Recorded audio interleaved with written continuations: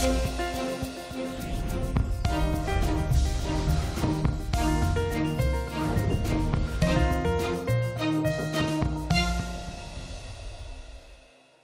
Martedì 30 maggio, buongiorno a tutti voi, ben ritrovati a questo appuntamento con la rassegna stampa. Naturalmente i titoli che dominano le prime pagine dei giornali sono legate strettamente al risultato dei ballottaggi per le amministrative, con il centrodestra che si può dire ha, ha di fatto eh, preso quasi tutti i, i, comuni nei quali si votava i capoluoghi, uno su tutti Ancona che non era mai stato guidato da un sindaco di centrodestra. Questo per quanto riguarda aperture. Poi ci sono notizie anche per quanto riguarda gli esseri in Kosovo, sale, torna a salire la tensione, tra l'altro ieri vi abbiamo fatto proprio vedere in diretta dal Kosovo le immagini che poi eh, abbiamo visto successivamente nelle altre edizioni degli scontri che ci sono stati, scontri anche violenti che hanno provocato il ferimento di eh, circa 40 militari della forza NATO di interposizione, la KFOR, tra questi anche 13 italiani, sono dei militari alpini, alcuni sono rimasti feriti in maniera grave ma naturalmente non sono in pericolo di vita. E poi ci sono anche altre notizie importanti, la Spagna per esempio dopo il risultato delle elezioni il Premier Sanchez ha rassegnato le dimissioni e torneranno nuovamente a votare per decidere a questo punto quale dovrà essere il eh, governo. E poi ci sono le notizie di cronaca, quella una su tutte, il Lago Maggiore, quattro sono le vittime eh, del naufragio dell'imbarcazione che si è capovolta per il maltempo. Insomma sono molte notizie, cominciamo dal Corriere della Sera il titolo, lo vedete, vittoria netta del centrodestra, 5 ballottaggi su 7, strappate Ancona e Brindisi, Meloni è un dato storico, il PD eh, prende Vicenza, il sindaco eh, Possa Mai che tra l'altro sarà ospite di Gaia Tortora più tardi nel dibattito, eh, appunto è stato l'unico eh, comune conquistato dal eh, PD. A Catania Tarantino, anzi Trantino di Fratelli Italia eletto al primo turno, Schlein convoca la segreteria, dice un errore correre da soli. Vi, sfido, vi, scusate, vi leggo rapidamente, il titolo è La sfida mai partita, il commento di Roberto Gressi proprio sulle elezioni. È una doccia gelata per Ellis Line, la scorciatoia almeno al momento si è rivelata un'illusione, l'idea che bastasse al PD il brusco strattone delle primarie, un taglionetto con l'area riformista, un qualche successo nel riaffacciarsi nelle piazze è stata trovata insufficiente dagli elettori, così scrive appunto nel suo editoriale. Queste foto eh, notizie si riferiscono agli scontri in Kosovo, lo vedete, Molotov sui soldati italiani, 14 feriti tra militari della Nato e manifestanti eh, serbi. E poi ancora restiamo sulla prima pagina, vi dicevo prima della Spagna, eccolo qui, conservatori e popolari, l'asse che scuote la Spagna, un messaggio all'Europa e nella eh, foto vedete il Premier Sanchez che annuncia appunto le sue eh, dimissioni. La notizia di cronaca, un accoltellamento ad Abbiategrasso, a 16 anni accoltella la professoressa per le note e un voto basso. E poi notizia che vi dicevo è anche eh, così abbastanza singolare perché eh, stanno emergendo quasi i contorni di una sorta di spy story perché guardate il Lago Maggiore, quattro le vittime accertate, l'imbarcazione sulla quale viaggiava questa comitiva di persone eh, si è capovolta a causa del maltempo ma soprattutto guardate sulla barca affondata gli 007 del Mossad in gita, il Mossad vi ricordo è il servizio segreto israeliano. Andiamo sulla Repubblica, il titolo, il vento della destra, elezioni amministrative ai ballottaggi la coalizione di governo vince con ampio margine e si aggiudica 5 capoluoghi su 7, oltre a Catania, Ragusa e Trapani al primo turno. La sinistra si ferma a Vicenza, Slain da soli non si vince, poi Meloni festeggia pensando al premierato, le roccaforti rosse non esistono più. E poi insieme la notizia della Spagna, il voto anticipato dopo il tracollo socialista che apre la strada a Popolari e, e Vox. C'è um, un commento di Stefano Folli proprio sul voto, il nuovo anno zero del Nazareno, il centro-sinistra scompare al secondo turno del voto nei comuni, era il terreno per tradizione più favorevole alle amministrative, così l'inizio appunto del commento di Stefano Folli. E la fotonotizia, gli scontri in Kosovo, battaglia tra Serbia e soldati NATO, feriti 14 alpini del reggimento Aquila. Vediamo la stampa. Meloni stravince al PD solo Vicenza, ballottaggi a senso unico, il centro-destra eh, espugna Ancona e si conferma a Siena. Dem male anche in Sicilia e poi il commento della Premier Meloni, il buon governo paga, Schlein da soli si perde, parla Tajani, c'è un'intervista proprio al ministro Tajani, dice il centro è decisivo. Di spalla anche in questo caso la notizia sulla Spagna, sconfitta socialista, si dimette Sanchez, Sanchez. E poi ancora abbiamo un commento di Marcello eh, Sorgi a proposito del voto, la destra travolge una sinistra suicida, si dice Cappotto quando in una partita la vittoria di una delle due squadre è talmente eh, forte, sproporzionata da lasciare senza speranze l'altra e il commento anche di Annalisa Cuzzo a proposito della uh, leader del PD eh, Elish Line, prigioniera nel suo labirinto. La fotonotizia gli sono gli scontri in Kosovo, attacco agli italiani. Vediamo rapidamente la prima pagina pagina anche del Messaggero, il centrodestra vince nelle città, dominati i ballottaggi ad Ancona, Siena, Pisa e già presa Catania, c'è lo spoglio tra l'altro per il risultato siciliano proprio in queste ore, Meloni premio al governo. E poi la sorpresa Bandecchi, sindaco a Terni, Vicenza va al centro-sinistra ma per eh, Schlein è una eh, batosta e qui vedete nella grafica appunto i risultati definitivi dei ballottaggi. Restiamo su questa prima pagina perché c'è l'accoltellamento, eccolo qui, ti devo interrogare, lui accoltella la prof e poi il Lago Maggiore nella barca muoiono affogati 3007. E allora ci fermiamo qui qualche istante alla regia per la pubblicità e ci ritroviamo subito dopo, vi aspettiamo.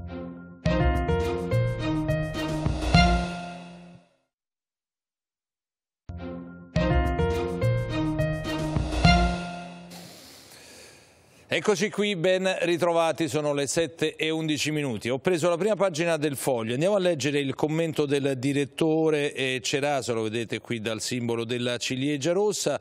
E allora il suo commento, il suo editoriale è dedicato naturalmente in questo caso al voto, il titolo Poca armonia, molto monocolore, Meloni e compagni vanno bene ovunque, e la sinistra vince con i candidati più lontani da Schlein. E poi in quest'altro sommario la destra un po' più moderata piace, la fuga dal moderatismo del PD no, lezioni comunali senza esagerare, questo è il titolo del commento. Vediamo il fatto quotidiano, Morituri te salutant con la eh, Meloni appunto con eh, le mani aperte e poi accanto nel montaggio ci sono i tre eh, leader politici, ballottaggi trionfano le destre, effetto Schlein a rovescio. E poi la notizia del Kosovo, eccola qui sotto, feriti 11 alpini nella guerra rimossa, ci ricorda che questo come dire, è, una, è un conflitto che non è mai eh, è rimasto sopito per anni ma insomma è sempre stato lì, scontri fra i serbi e le truppe di Pristina.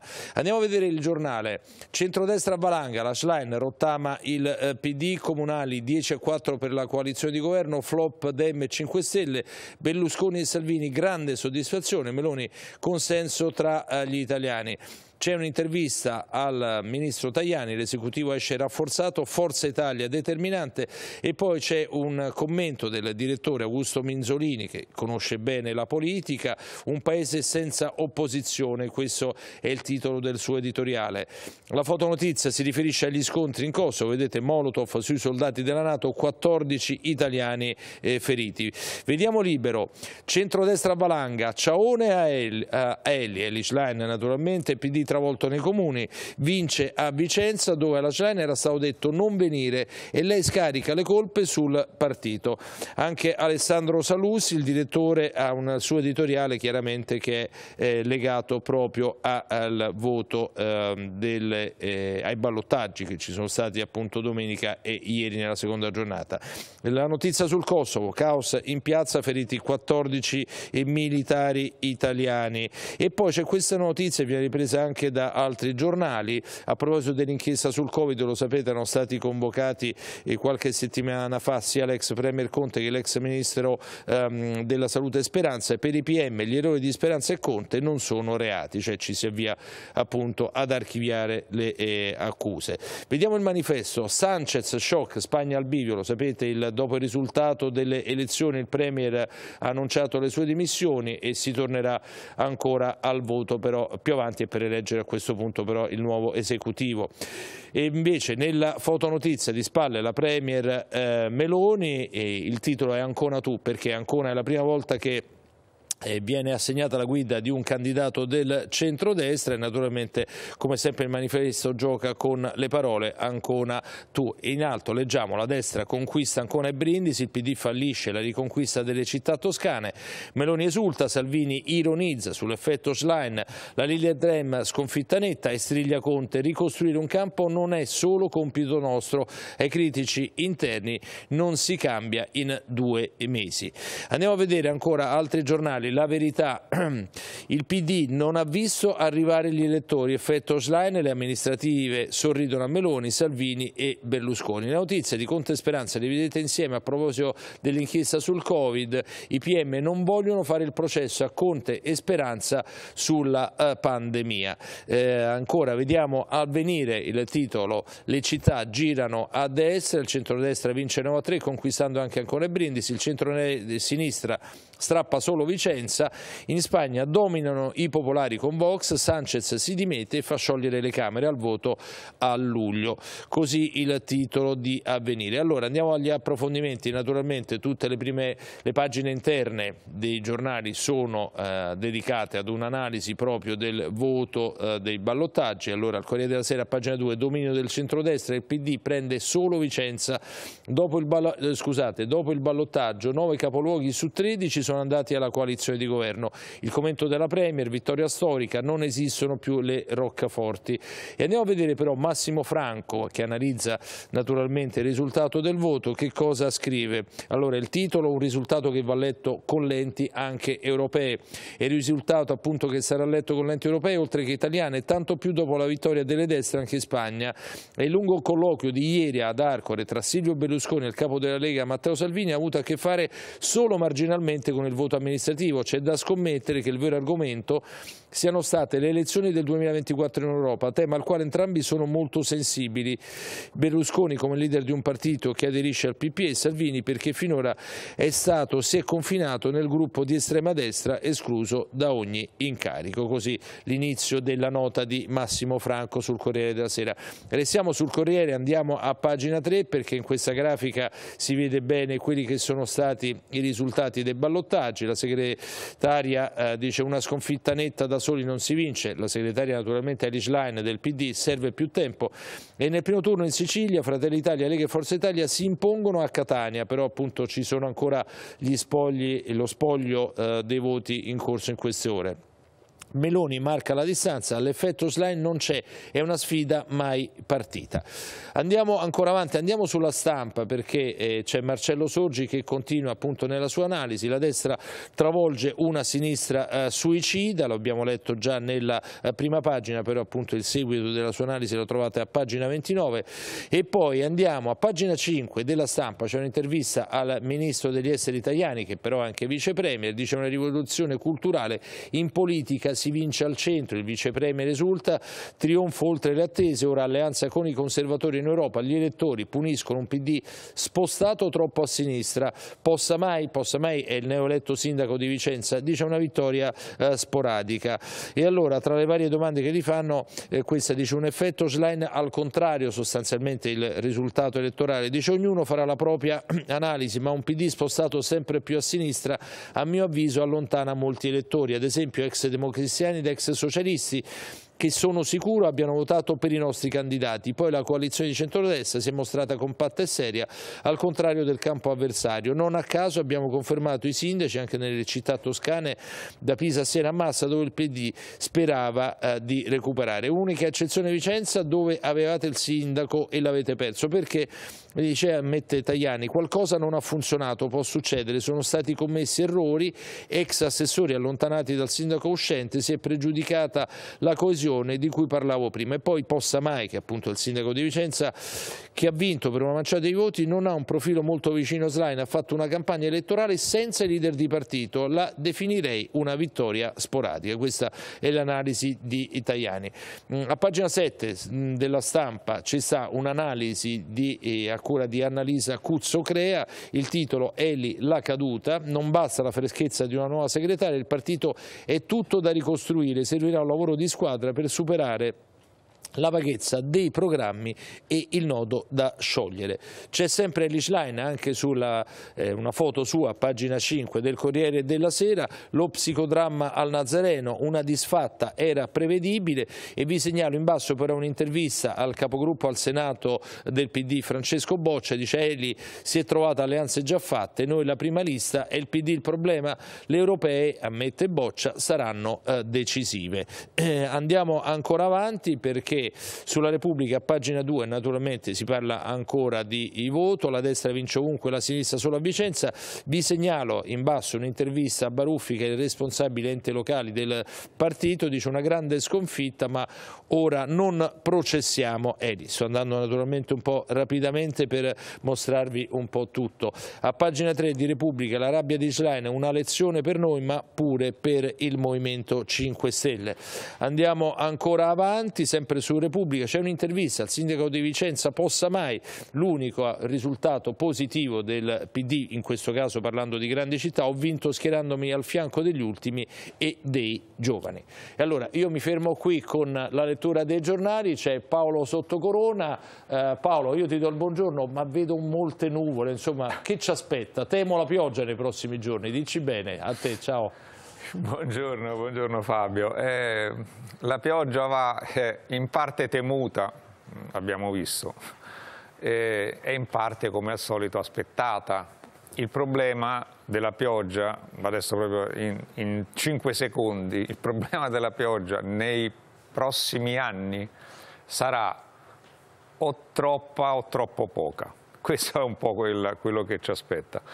Queste nuvole che si vedono al momento, queste a cui si riferiva Fabio, sono al di fuori di quella circolazione che abbiamo avuto nei giorni scorsi e che avremo ancora oggi e ancora domani. Vale a dire, anche durante la notte queste nuvole ci sono, vedete ci sono piogge sul mare, il che significa che non sono quelle che dipendono dal riscaldamento diurno e poi c'è questa linea di nuvole che sembra una piccola perturbazione, in realtà gli effetti più significativi saranno quelli nuovamente del pomeriggio. Andiamo a vedere la previsione per la giornata di oggi, vedete in Sardegna sì c'è qualche pioggia e ci sono delle piogge sul mare, proprio a dimostrazione che non sono quelle del pomeriggio, mentre invece sul nord, soprattutto il nord-ovest, le zone interne del centro, del sud, vedete i fenomeni intensi sono piuttosto frequenti, non sono neanche isolatissimi perché cominciano a compattarsi, ci sono delle zone con questi fenomeni. Un occhio come sempre alla, alle zone dell'Emilia Romagna che potrebbero avere delle piogge deboli per oggi però vedete che questa instabilità è ancora ben presente. Vediamo la giornata di domani in cui sempre e soltanto nel pomeriggio, ancora una volta forse con l'eccezione della Sardegna, ci sono questi fenomeni. Forse fra centro e sud leggermente meno presenti che oggi, non è un'attenuazione un di, di, questi fenomeni, ma forse ce ne sono un po' meno. Sicuramente ce ne sono meno sulla parte centro-orientale del nord, ce ne sono decisamente di più invece sulla parte occidentale, a prendere l'Alta Lombardia, eh, il Piemonte, la, anche la Liguria di Ponente, la Valle d'Aosta e la previsione è di piogge localmente moderate sull'Emilia Romagna e qua ovviamente scattano tutti i campanelli di allarme perché sentivo giusto ieri che stava un po' rientrando la situazione, lentamente stava migliorando, questo speriamo che non, che non peggiori la situazione. Poi giovedì in attenuazione anche la forte instabilità sulle zone di nord-ovest, ma qualcosa resta sull'Emilia, l'Alta Toscana, parte della Liguria, la Sardegna, anche le zone interne del centro, però con fenomeni meno presenti. Resta piuttosto instabile la situazione sul Basso Tirreno e Sicilia, quindi questo meccanismo delle, delle, piogge e dei temporali pomeridiani insomma, continua ancora per un poco. Le minime di questa mattina, beh, insomma, basse non sono tutto sommato perché poi è, questi temporali non sono portati da, dall'ingresso di aria fredda, è sempre la stessa aria che si ricicla e anche la stessa acqua, come dicevamo ieri, che teoricamente è la stessa acqua che cade, poi evapora e poi riforma le nuvole e poi ricade Ehm, chiudiamo con lo stato dei mari, tranquillissimi, solo parte del Mar Ligure potrebbe essere localmente mosso, se no siamo sul filo del poco mosso e a volte neanche quello. Se volete ci vediamo intorno alle 7.55, adesso pubblicità e poi la prima edizione del nostro telegiornale con Fabio Angelicchio. A più tardi.